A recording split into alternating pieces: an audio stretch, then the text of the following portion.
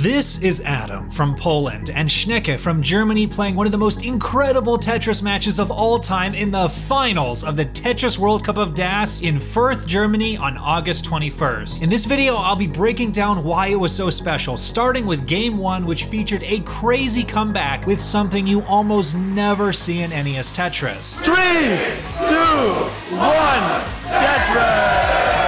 So first of all, what is a DAS tournament? Basically, the button mashing techniques such as hyper tapping and rolling that dominate the modern scene are banned. So each player must hold down the D-pad to use the game's built-in piece movement to move the pieces to the sides. This movement isn't super fast and is barely enough to maneuver pieces to the side when the game reaches faster speeds, so players must decide where to put their next piece while it's in the next box and start moving it into place as soon as it enters the field. Gameplay becomes nearly impossible at level 29 or 200 130 lines in which the game reaches its maximum speed and pieces can no longer reliably reach the sides at all. So players must try and score as many points as possible before level 29 with Tetrises, 4 lines at once, which are worth much more points than lesser line clears. So towards the end of game 1, Schnecke is absolutely cruising. He's got over a 180,000 point lead, which is equivalent to about 5 Tetrises, while Adam's board is in huge trouble. But suddenly Schnecke misdrops a square right as Adam opens up his board and gets a Tetris and Schnecke's on the ropes. The piece movement is not fast enough to allow Schnecke to survive at this height, and a hung square ends the game. Adam is perfectly set up for a Tetris, waits for the long bar and gets it, but enters level 28 and he is seemingly out of time. He has just 10 lines left before the game enters the deadly level 29, but he is 3.06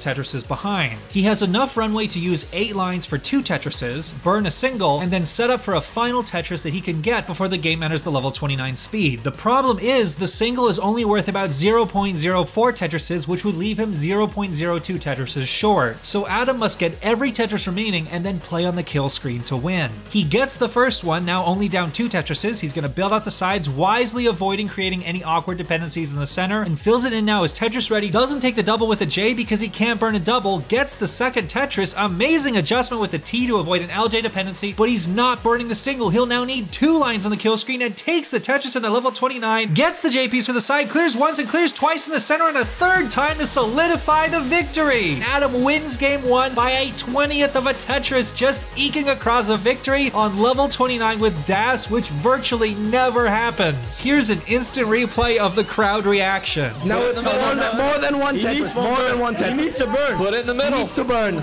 He needs to burn. On 29. 2,000 points. Two, no, ah, ah,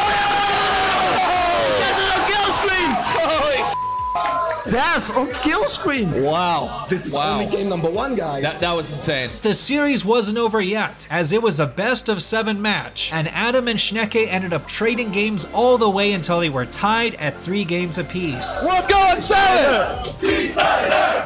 Let's go! In game 7, everything was on the line, with Adam and Schnecke less than a Tetris apart, and Adam made a critical move that changed everything. At the last moment, he shifted this L piece to the left and placed the square to the right center, which put him in an incredibly dangerous position high up on the board, needing a line piece to fill the hole. It may have been an intentional gamble or a panic move after mistakenly moving the L piece, but it doesn't matter now. Adam is out of options, all he can do is set up for a Tetris and hope the line piece comes. It's getting getting too high up. Adam can't get pieces over to the side for much longer and gets a line piece just in time for the Tetris, tucks the T piece, gets another line piece, and just manages to get a J piece over to skip the line and escapes with a Tetris to take the lead. It is hard to describe just how improbable it is to get out of a situation like that with DAS, but the reaction of the crowd paints a pretty accurate picture. Adam, set up for Tetris! Tetris readiness for Adam! Oh my goodness! Oh, there's... Oh! Oh! Oh!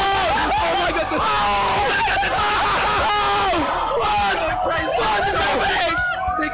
five. Adam in the lead right now.